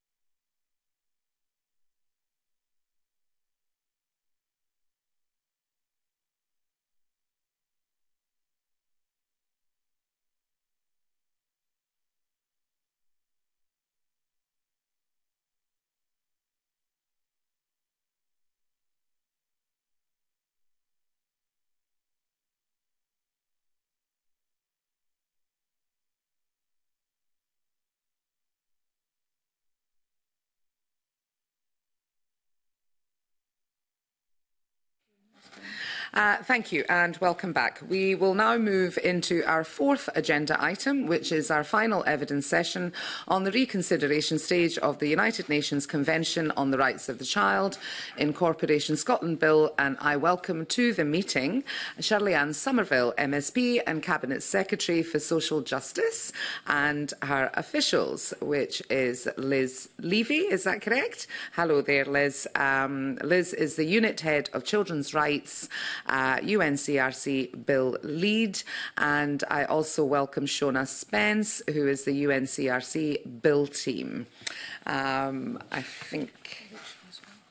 Uh, Rachel is online. There we are, just popped up in front of me. Welcome to Rachel Nicholson, who is a lawyer, legal directorate, and uh, Rachel is joining us remotely this morning. So, welcome and thank you to you all. Um, I would also like to welcome Martin Whitfield, MSP, who has joined us for this session. And uh, depending on time, um, I will be allowing Martin to come in with questions as well. Um, I refer members to papers four and five, and I invite the Cabinet Secretary to make an opening statement. Cabinet Uh, thank you very much and uh, good morning, convener. Uh, I'm grateful for your careful consideration of this very important bill. As committee is well aware, the UNCRC bill was passed unanimously by the Scottish Parliament in 2021, but could not receive royal assent due to a referral to the Supreme Court by the UK law officers. The Supreme Court judgment has significantly impacted on our ability to legislate for human rights in Scotland, although I would stress we very much respect the Supreme Court's judgments. In amending the bill to address the judgment, I tried to balance three considerations. Protecting children's rights to the maximum effect extent possible, minimising the risk of another Supreme Court referral and making the law as accessible as possible for users. I reached the conclusion that the maximum effective coverage for children's rights in the present devolved context is for compatibility duty to apply only when a public authority is delivering devolved functions conferred under Acts of the Scottish Parliament or common law powers, meaning that it will not apply when powers are delivered under Acts of the UK Parliament, even in devolved areas. The duty to read and give effect to legislation in a way that's compatible with the UNCRC requirements and the power to strike down incompatible legislation or to issue an incompatibility declarator will apply only in relation to legislation originating from the Scottish Parliament. The Supreme Court judgment means that this Parliament's power to give the courts remedial powers is limited by the mere fact that existing statutory provision happens to be in an Act of the Westminster Parliament, even when they concern matters on which the Scottish Parliament could and frequently does legislate. This has resulted in a disappointing loss of coverage for children's rights compared with what we had originally hoped to achieve. And while we have taken tried to minimise the complexity in the approach we have taken, the Supreme Court judgment means that the duties will not be straightforward to understand as we would have hoped them to be. However, the bill will still provide legal protection for children's rights that is not currently available in Scotland or indeed in any other part of the UK. We should also remember that although the sections of the bill impacted by the Supreme Court judgment are powerful provisions, there are other important provisions in the bill that will mean that children's rights are respected in the first place and to help ensure that our statute book is fully compliant with the UNCRC requirements. The bill require Scottish ministers to set out and report on how they are giving further and better effect to children's rights, regardless of whether the compatibility duty applies, and for listed authorities to prepare and publish similar reports. The bill requires the Scottish Government to carry out a child rights and wellbeing impact assessment for decisions of a strategic nature and, when bringing forward any new Scottish legislation, to make a statement about its compatibility with UNCRC requirements. The more limited scope of the compatibility duty means that it's even more important to create a lasting cultural change about children's rights. I'm confident that we can deliver this as a result of the wider spread support that we're putting in place. This includes a model child-friendly complaints process that can be used regardless of whether the compatibility duty applies, and a wide range of support, training and guidance for public authorities on how to take a children's rights approach. In the context of the current devolution settlement, the most straightforward way to give children and young people the human rights protection they deserve is for the UK Government to incorporate the UNCRC into UK law. We have an important opportunity to lead by example by passing this bill. Thank you, Convener. Thank you very much, Cabinet Secretary. Um, that was very detailed and informative opening statement. Um, and the Cabinet Secretary will be aware how keen I am to engage with young people and represent their voices um, as often as I can. So my first question is not my own. Um, it is, in fact, um, from Arden, who is a member of the Children's Parliament. Uh, so Arden says, um, I would love to ask how the bill will change things for children and if children are going to help implement the bill and be consulted on. Uh, thank you, Convener, and thank you to Arden for, for the question. Um, it is very important as we have gone through this process um, and also as we look forward to what comes next after I hope this bill is passed, uh, to ensure that children and young people uh, remain very much at the heart of everything that we do. And it is very important that we remain very, very focused on the dialogue that we're already having with children and young people and keep that going. So, for example, my, uh, one of my most recent meetings on this was with two members um, of the Scottish Youth Parliament, not the Children's Parliament where Arden is, but the Scottish Youth Parliament, to, to talk about some of the, the issues uh, that are in the bill and also, very importantly, to talk about the steps about what happens um, next. Now, we need to ensure uh, that we are giving children and young people a much greater awareness um, of their rights, um, and we have a number of um, uh, funding streams to ensure that that's happening um, at the moment. Um, and as I said in my opening remarks, that will hopefully help Arden and others uh, look at not just where we've had to change this legislation in the reconsideration stage and the compatibility duty, uh, but wider about their rights um, and also how to ensure that their rights um, are being respected and, and observed. So there is a great deal um, of work um, that has gone on and will continue to go on. Um, obviously, um, um, both myself and other uh, cabinet secretaries and ministers meet with the uh, Children's Parliament and Youth Parliament representatives, and we have the Cabinet takeover um, as well. And UNCRC has, for a number of years, been one of those issues they've spoken about, um, and it is for them to decide the topics. But I, um, I would be surprised if that's not a continuing discussion we have with them.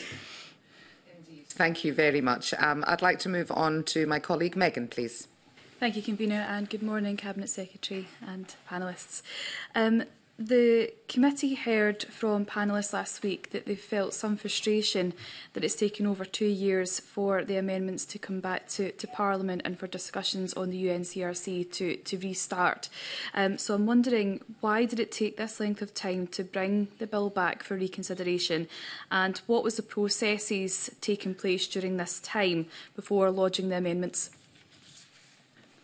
Uh, thank you. So um, it has been a, a very complex um, process that we've looked into and one of it, the, the reasons um, for that, again as I've said in my opening remarks, is um, very much our wish, our desire to ensure that we still had the maximum coverage um, possible um, and that is why uh, we looked at, um, at a, a number of avenues uh, to see the, the different um, ways that uh, the bill could be amended um, and the, those provided, for example, further coverage, but increased the level of complexity um, within the legislation, which again committee heard was a, a concern um, as as well.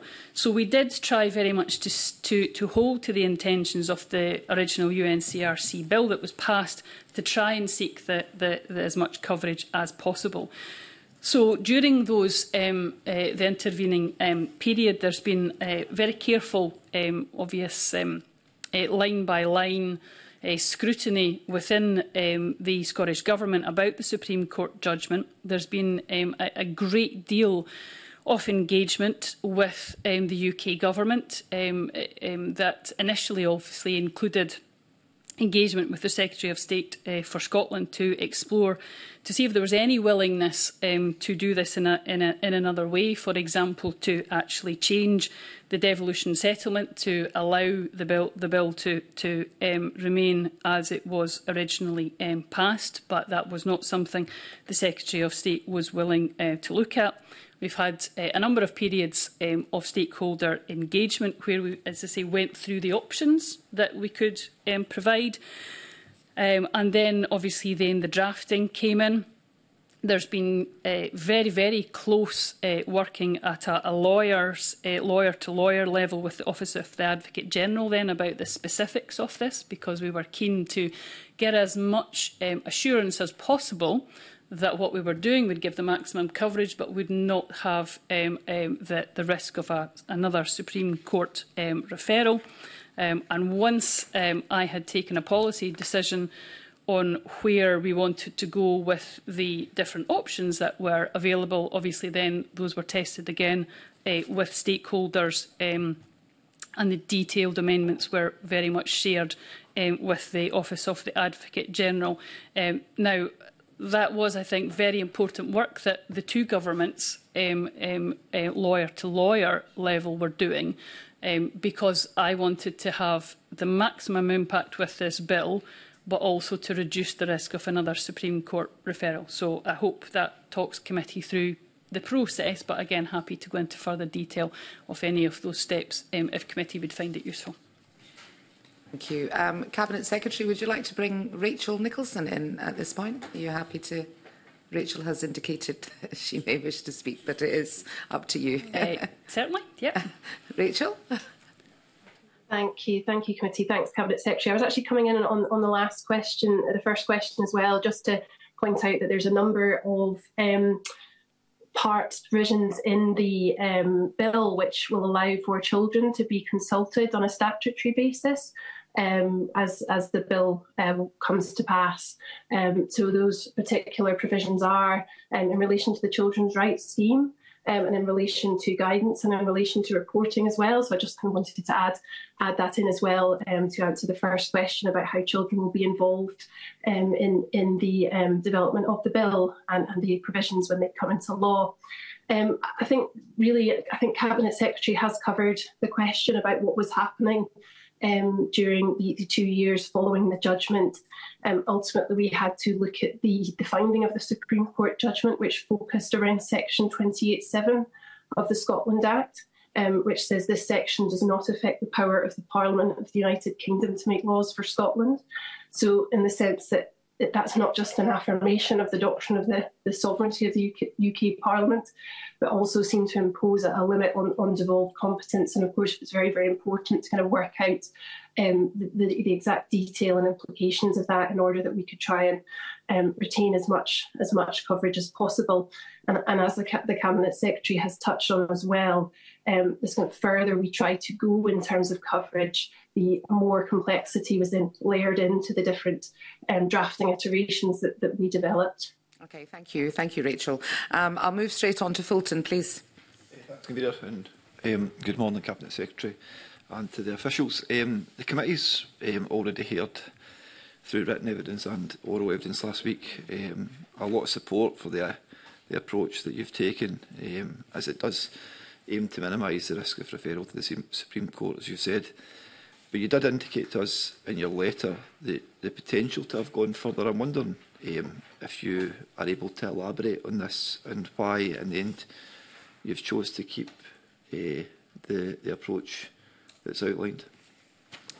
Uh, thanks. So uh, we did explore what could be done to achieve more coverage for UK acts in devolved areas within the compatibility duty, um, and one of the ways that we sought to do that was, for example, taking an approach that would have differenti differentiated between existing and future acts um, in devolved areas, so that, for example, the compatibility duty would have applied to existing uh, but not future legislation.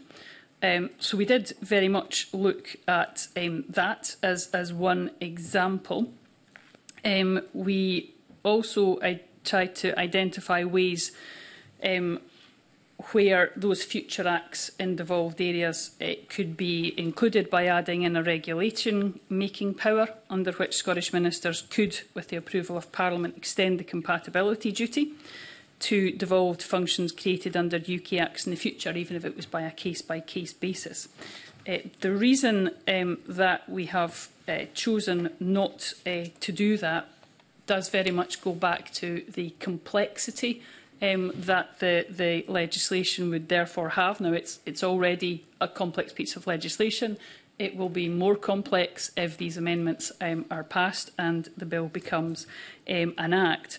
Uh, but if you look at the complexity issue alongside assessing the risk of another referral to the Supreme Court, um, we did, um, um, as a government, then come to the view that gator coverage would in effect make the provisions too complex um, for users to, to um, actually use. Uh, we did that with some internal testing within the Scottish uh, Government and realised that we were in danger of having a piece of legislation um, that was uh, too complex uh, to, to, to use, um, whether that's by children and young people or representatives or indeed by the public bodies. We also considered uh, that the compatibility could have applied when public authorities are delivering their duties under powers conferred by amendments to the UK Acts that have been made by an Act of the Scottish Parliament. Um, we didn't feel there was a legislative competence barrier to doing that, but again, the provisions that came from that were extremely um, complex. Uh, so it is due to that complexity and that balance of the risk of complexity and coverage um, and the risk of a Supreme Court referral uh, that led me to take the decision uh, that I have done. Um, thanks, Cabinet Secretary, for that uh, very full answer. And, and I suppose building on from that, um, as I said earlier, the approach that you have taken does seem to have quite wides, widespread support amongst the sector, particularly um, children's organisations, many of whom we heard from last week. Um, and I think that support is based on the, a, real feeling amongst them there is no alternative way, given the Supreme Court a decision to achieve the incorporation at this point. Uh, can I say that, that, do you agree with that as well? Were there, were there any other realistic alternatives? Um, well, the alternative way um, would have been for um, when the Supreme judgment came through and when um, the Scottish Government reached out to the Secretary of State for Scotland uh, to uh, look into whether the current devolution setup could be changed for this bill itself to allow the bill to, to proceed um, as the Parliament had um, voted for, um, that would have been an alternative. Um, but that wasn't something that the Secretary of State for Scotland um, was um, um, willing to consider. And on that basis, we therefore needed to adapt uh, the bill. Um, now, that's clearly disappointing, um, but given that's the state of play that we were in, um, then we are where we are. The other obvious area where we could achieve a greater UNCRC incorporation is, of course, for the UK government to um, uh, do what we are doing within our limited powers um, and also put a UNCRC on the UK statute books too. So those are two alternatives, but they're not alternatives that were open to the Scottish government. They needed the UK government to take action. Thanks. Thank you. Okay, yeah. happy. Um, Paul, please. Uh, thank you very much, Convener, and good morning to Cabinet Secretary and officials. Um, I'm keen to just understand some of the issues around the complexities that have been, um, or, or the concerns that have been raised to us by uh, certainly COSLA, um, Social Work Scotland and others. Uh, I mean, Social Work Scotland, I think, described um, you know, these amendments as potentially impossible to, to kind of navigate in the landscape. Um, and there have been calls, I think, from frontline um, workers who will have to kind of interpret and, and work through um, the legislation for sector-specific guidance. So I wonder if I can ask firstly um, what work is being done on guidance that outlined in the in the bill in general, and secondly, as the cabinet secretary open to the development of um, sector-specific guidance um, for practitioners? Uh, so I very much uh, recognise the, the evidence that was given last week. Those are the types of discussions that I've been having myself and my officials have been having um, with, with public bodies. Um, and I, and I recognise, as I've said previously, this is, a, uh, is a complex piece of legislation and will become more complex um, if, if these um, amendments uh, are passed. Um, so when the evidence was given last week, I'm, I'm assuming... The request for detailed sector-specific guidance is a request for us to set out how policy and practice in particular area needs to change to become UNCRC compliant. Uh, but I think the, the evidence um, from Andrew Tidkell was uh, very uh, pertinent in this, where he himself described this as, as something, the UNCRC not lending itself to a list of rules um, but it's more a list of principles that need to be interpreted. So that does make sector-specific um, guidance um, difficult. And obviously it's for the Scottish courts to decide um, when cases are brought to them what constitutes um, a breach in the context in which the services are being delivered.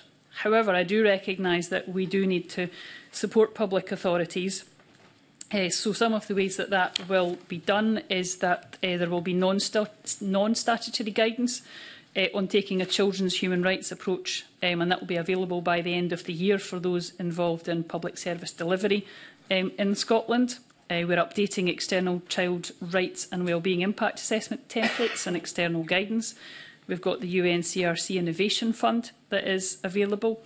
Um, and by summer 2024, we'll have a national ch child rights skills and knowledge framework in place that will provide a single point through which access to access new and existing resources on training on children's rights for a wide range of sectors. There's also the statutory guidance that's in the bill. The bill requires Scottish ministers eh, to issue guidance to support public authorities to comply with the compatibility duty and pr promote children's rights and respecting practice. Uh, so there's a group that's been convened to look at the development of that statutory guidance, uh, and that will include a framework for reviewing compatibility.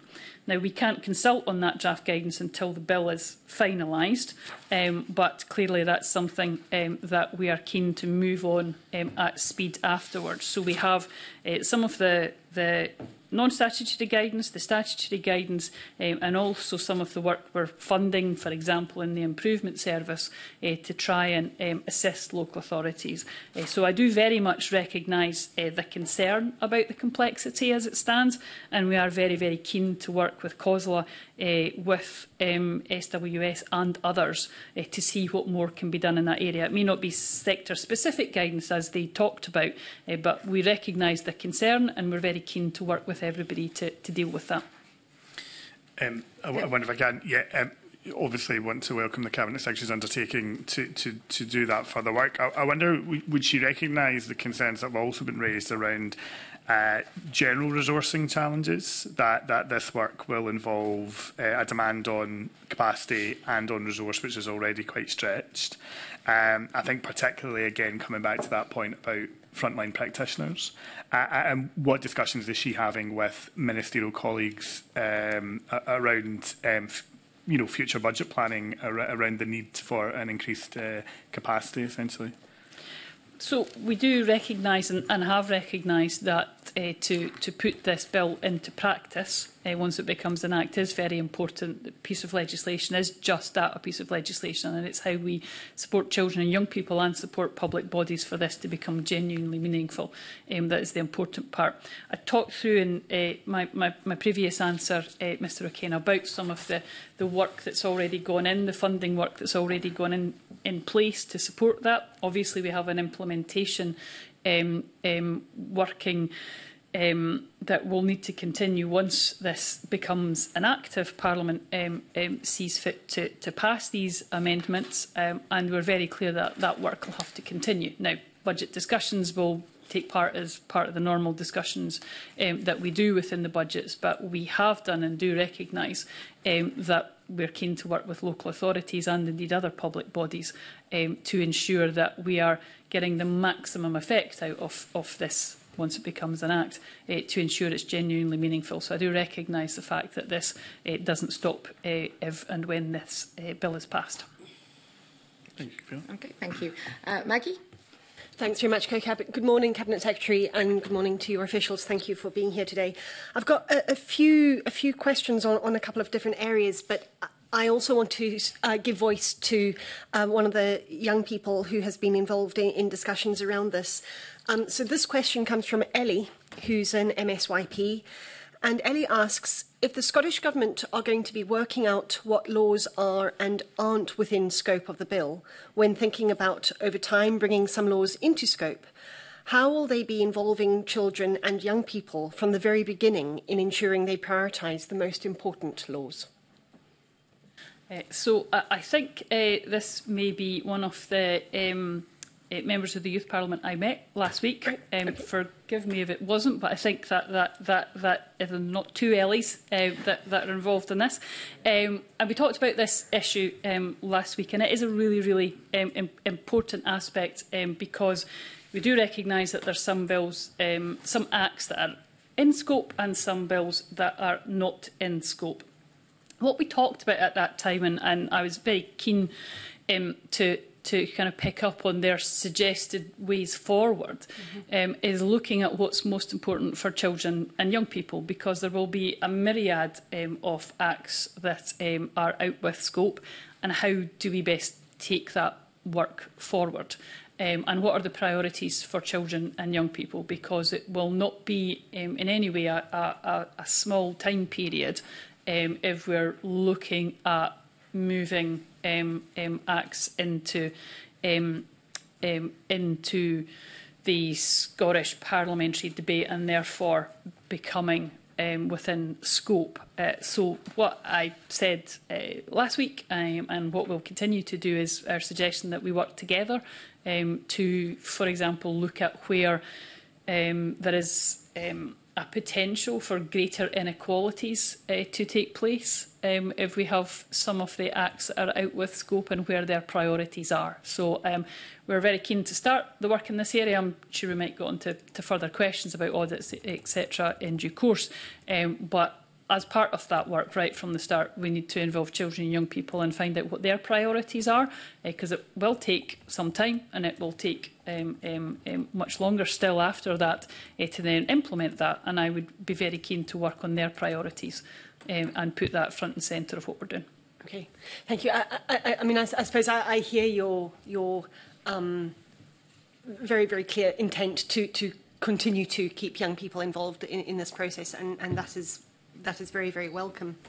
Linked to that, I suppose, there, there's something around um, the three-year implementation program that that the that uh, it ha has has been has been talked about, and some of the work as part of that has already started. But we heard very very clearly last week um, by comments from Together and, and others that the implementation programme should continue to help develop resources for children and their families and, and others to help understand their rights and to, to just grow understanding and literacy in, in this area. There's also the important issue around funding and capacity building to increase the number of specialist children's lawyers. Is this something you are considering and can you commit um, to this at the stage? to supporting the, the continuation of the implementation programme? Uh, so, as I think I mentioned to, to Mr O'Kane, the decisions about future funding are, of course, a matter for the, for the budget process as we go forward. And I look forward to committee and, indeed um, all political parties uh, coming forward with uh, suggestions, uh, costed preferably, uh, to see if we can move on this area um, and um, on others. Because I think they do raise a very um, important point. Uh, I, I, won't repeat myself, uh, eh, Convener, because I think I touched on some of this to, to my answers to Mr O'Kane, but that, that, that recognition of the fact that just because the Act is passed doesn't mean that this is over. And initially, um, I think it was explained to me yesterday, uh, last week, when I met with the members of the Scottish Youth Parliament, that in many ways this is only the beginning. It might not feel like that uh, to some of us uh, that have been around this process for some time, uh, but this is um, on, only the, the, the beginning. So uh, we are very keen uh, to look at the range of support that has been in place uh, to ensure that that's working effectively um, and also to, to work with children and young people and public bodies uh, to make sure that we're looking at what more uh, needs to be done. Now, um, I mentioned the UNCRC implementation um, programme um, earlier, and that will clearly need to continue as the provisions in the bill commence, hopefully next year. Um, and we'll continue to work with public bodies, children and young people and their representatives uh, to build on the comprehensive support that's already been um, provided. For example, through that Rights Respecting Schools Awards, the funding for Clan Child Law and that funding for the improvement services as well. Th thanks. And, and, and I, I, heard your responses to, to Paul O'Kane earlier, but, I, but I, I suppose there's something about it's not just about funding, it's about using what funding has already been allocated or, or will be allocated in the most effective ways and, and ensuring that uh, young people's voices are, are part of, of, of, the discussions around that. And, and I, I, I, got reassurance from you in, in, that. My third question is around um, reporting periods. Uh, section 15 of the bill uh, sets out the reporting du duties of listed authorities and the timings of reporting cycles. The first period um, indicated in the bill was the, the 31st of March 2023, which has obviously been and gone. And I, I just wondered, um, the, in the amendments that you, you have submitted, it, it didn't it didn't, none of the amendments dealt with this, and would you be supportive of a mechanism to fix this fix this in, in later stages, or, or do you have an intention to, to bring an amendment to this to that um, end? Uh, yes, I mean this this is an issue that um, um, is a is a consequence of the bill being referred to the yep. the, the Supreme Court. Um, so uh, yes, to clarify to committee that I do intend to lodge an amendment um, to change the reporting dates so that listed authorities have clarity on the timing of their duties is, of course, for the presiding officer to determine whether that amendment is admissible under standing orders for a reconsideration stage, mm -hmm. which, of course, Parliament has not gone through before, uh, but it certainly is my intention to, to lodge, and then it will be for the presiding officer um, to, to take a view, obviously, on that. Okay, thank you. I'll leave it there for now. Thank you. Thanks, Thanks very much. Um, I, I might pick up on the consequences of the referral and things that have had to be missing.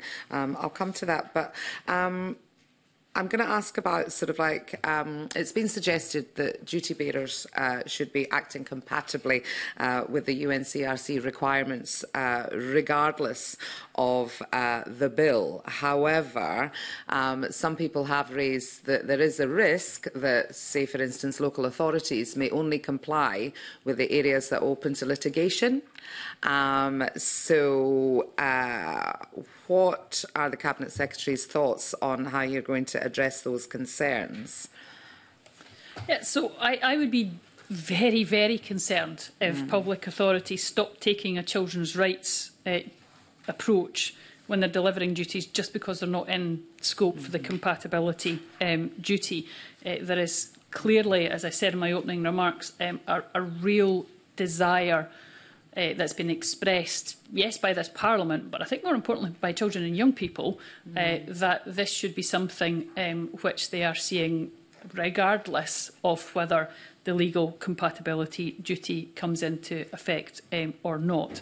Um, the, this, regardless of the scopes of those legal um, duties in the bill, UNCRC is already at the heart of GERFIC, as convener will be uh, well, well, aware, um, and it is very, very important um, that we look at this um, in the entirety. So we're very keen to work with local authorities to take a children's human rights approach in the delivery of their services, regardless of the source of their powers. Um, that is what I think children, well, which I know children and young people want us to do um, as legislators, and um, and I think it's important that our services um, are delivered in the, that way. That's exactly why, when we've been speaking earlier about some of the the funding that's in place um, not to differentiate mm. between just doing this for when the legal compatibility duty arises and then somehow leaving aside um, as if they're lesser rights, uh, the rights of children and young people that are impacted uh, by, for example, a UK Act. So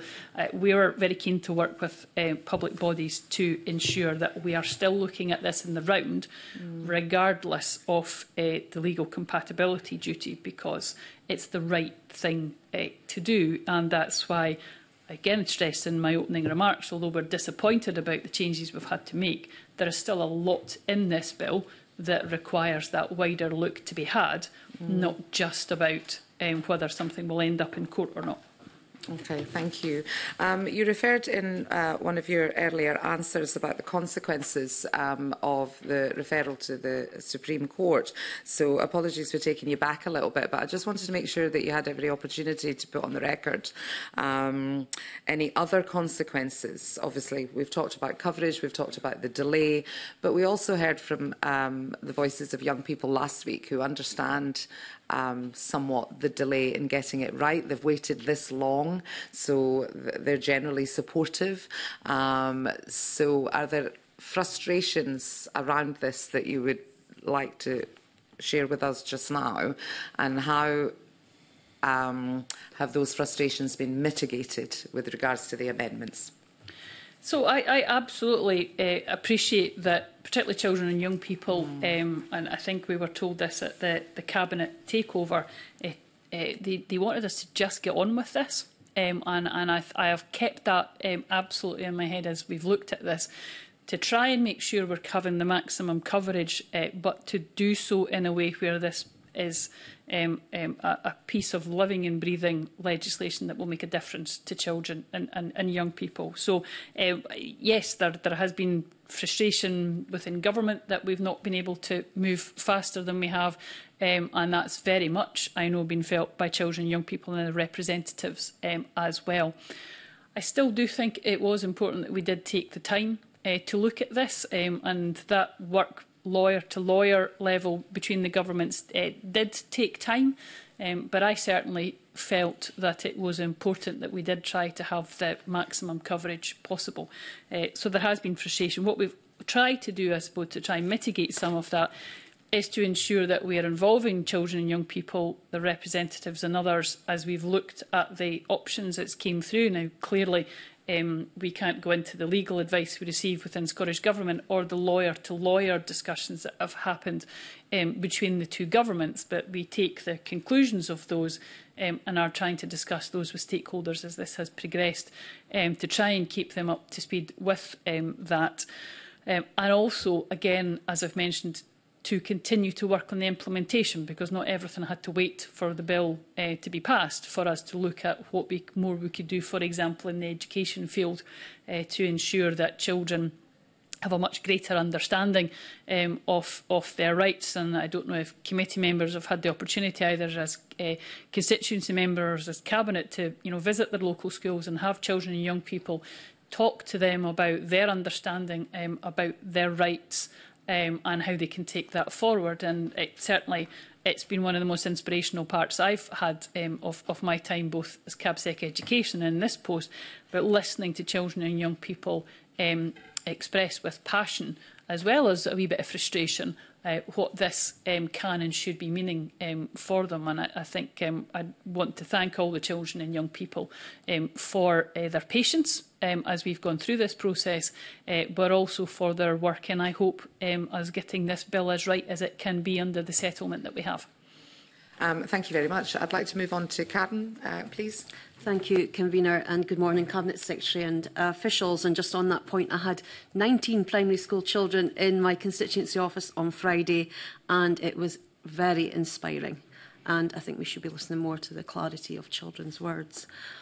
Um, Cabinet Secretary, some of the witnesses have suggested that over time more legislation could be brought within the scope of the UNCRC bill and have suggested ways to address that, such as applying UNC, UNCRC requirements to future legislation like the Promise Bill and committing to minimising future Scottish Parliament amendments to UK Acts. What is the Scottish Government's long-term plan on UNCRC incorporation, given the narrower scope that it now has? So if I take the example of the avoiding making amendments to UK acts um, um, first uh, of, of all, uh, clearly this uh, does have um, and, and, will have an impact on what the government um, thinks about as it moves forward to, to plan legislation um, in the, the future um, when we're deciding whether a change of an act, uh, when, when we're deciding whether a change of law should be expressed as a freestanding provision or as um, an amendment, clearly we look at um, Parliament resource implications, accessibility to law, And now we will, um, as, as a government, look to see about the implications of making those types of decisions on UNCRC uh, scope. So that will be something that will be now be um, kind of built in to how we look at things in, in the future. Um, there are, of course, bills that um, are will go through Parliament um, that that um, issues could be attached to. Um, I'm ministers, I'm open, ministers are, are, are open um, to, to that, but I think we need to be kind of careful and I won't give a kind of um, um, um, overall commitment to this because it's important we look at it on a case by case basis. So, for example, you know, what are the provisions that would benefit um, from being um, in an act of the Scottish Parliament? and what would happen to the scope and the timetable for a bill if it's already progressing. Um, what level of consultation would have to be undertaken if we were to move something and to um, put it into a, uh, a bill as it goes through? Does that delay a bill? Um, would the uh, members uh, feel that that is a reasonable way forward if it wasn't something that was at the bill at stage one, evidence hasn't been taken on, for example, um, and people may have concerns um, if we don't consult properly. So we just need to look at it on a case-by-case -case basis. I think it's a really um, um, interesting proposal and, and suggesting, uh, but it's just something we'll need to look at um, each time we're, we're looking at those provisions. So I think my encouragement to, to stakeholders and, and others is to absolutely, if they feel that there's an opportunity, uh, to reach out to officials, to reach out to the ministers uh, responsible for those bills, uh, to see what uh, can be done in, in these areas and to have that type of conversation. Uh, because clearly this um, is not as simple as lifting something from a UK Act and putting it over here because government opposition members may want to uh, to change, to update, uh, to modernise um, law as we go forward. It, eh, so we just need to be mindful um, of that. So certainly not something we're closing down, but we'll need to look at it on a case by case basis.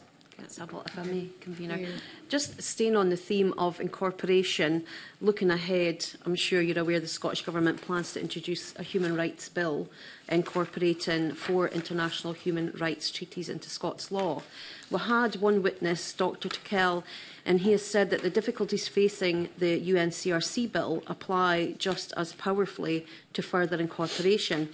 Can I ask what the Scottish Government is doing to prepare for that, such as considering what would be in scope and what the impact would be on the ability to make sure that the bill includes provision for enforcement?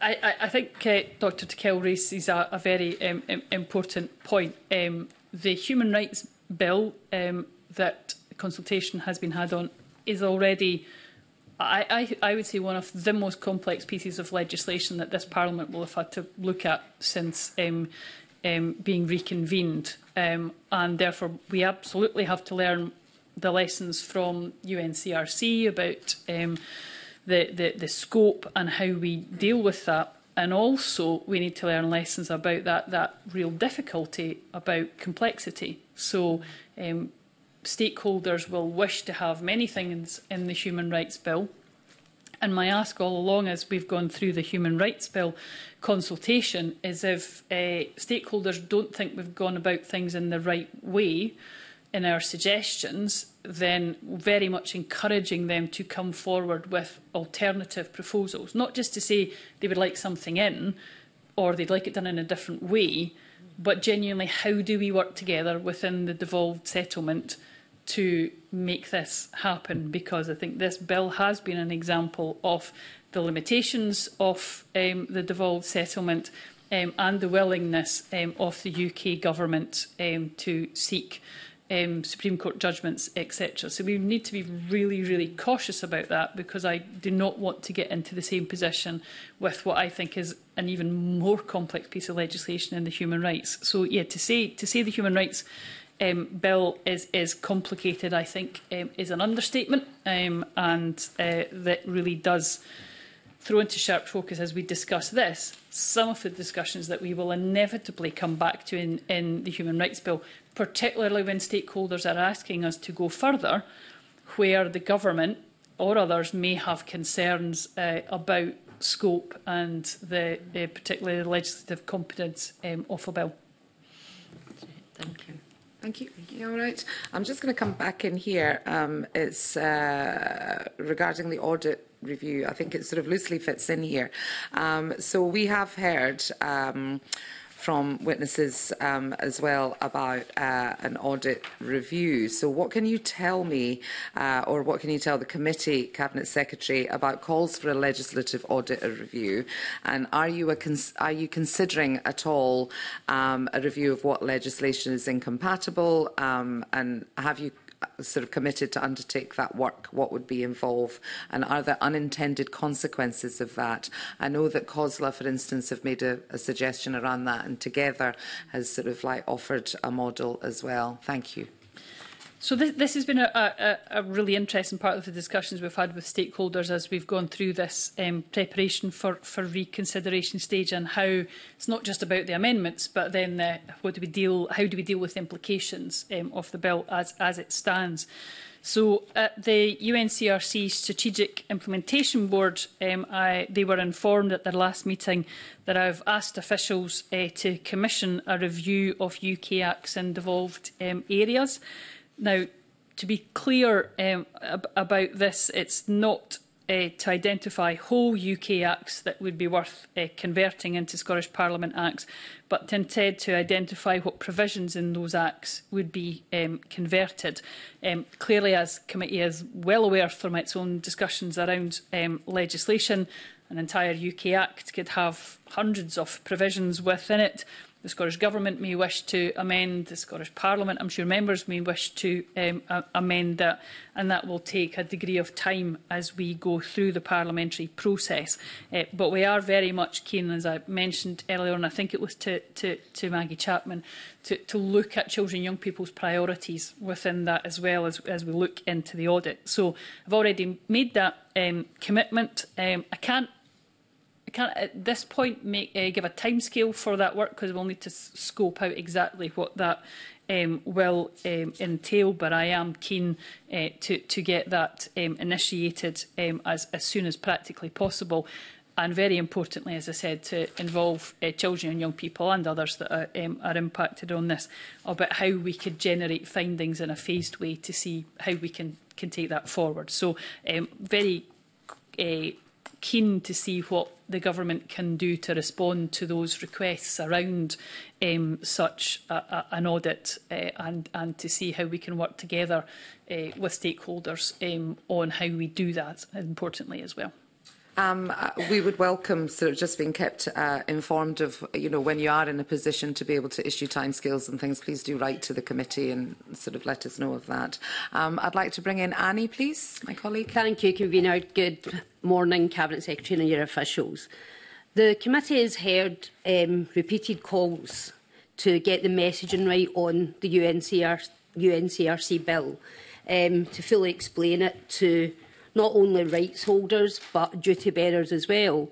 And I was just wondering if the Cabinet Secretary could tell us what plans does the Scottish Government have in place in order to do this?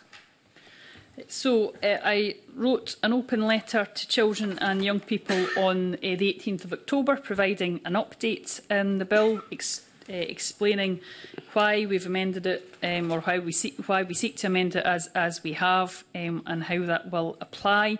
Um, and we're also very keen uh, to continue to work on communication directly with children and young people and obviously with the stakeholders. We've touched, I think, on previous um, um, answers about communication with stakeholders mm -hmm. and working with them, although if Ms Wells would like further information, again, myself and officials can go into further detail. Uh, the, the real need for us to work with children and young people uh, and to ensure that that communication is done in a, in a, a uh, child-friendly um, fashion is, is very important. That's one of the reasons why we've got the Rights Respecting Schools Award that's available to, to all state schools um, in Scotland. Um, and we've uh, also got a communications group uh, that are helping develop our approach. Um, an example of this is how we've got Young Scot involved working on a social media campaign for young people and we're grant funding the Children's Parliament to help raise awareness of children's rights among children and young people. Uh, we've got a guide for parents, carers and family members that will be updated after uh, the bill is uh, passed with the Bill of Parliament. And we've, I think, already I've mentioned the Clan Child Law uh, funding um, as well. The final point I, I would make around this is, is obviously the Children's Commissioner uh, will play a central part um, in this as well, but that will of course very much be up to the Children's Commissioner to decide um, how they'll take that forward. Thanks, Gavina, because the Cabinet Secretary did answer some of the some of my question and Mr O'Kane's answer as well. So thank you. Thank Thanks. you. Thanks very much. Um, I do have an opportunity um, ahead of you there. Mr Whitfield, please do come in at this point. I'm, I'm very grateful, Convener, for the invite to the, the committee for the opportunity today. And um, still good morning, Cabinet Secretary and Anfas. It's really just to pick up a, a couple of small points more by way of clarification. With regard to going forward, um, you talked about the UNCRC forming one of the questions that will be asked about whether the legislation is compliant. But you couldn't give that reassurance with the existing legislation that's going through because of, um, obviously, in some cases, you've already reached out for discussions with third parties. And the example was the Promise Bill. So is, are you envisaging a specific date after which all legislation will have to go through a, quote, UNCRC consideration, or are you anticipating it will be an individual discussion for every piece of legislation going forward? So once the, the, the bill um, becomes an act, um, this will become a, a more, um, you know, a, a mm-hmm. uh, process. Uh, but clearly, as we're working through legislation at this stage, even without the bill being passed, uh, this is something which we take into consideration um, as, as we go through to ensure that legislation is UNCRC um, com compliant.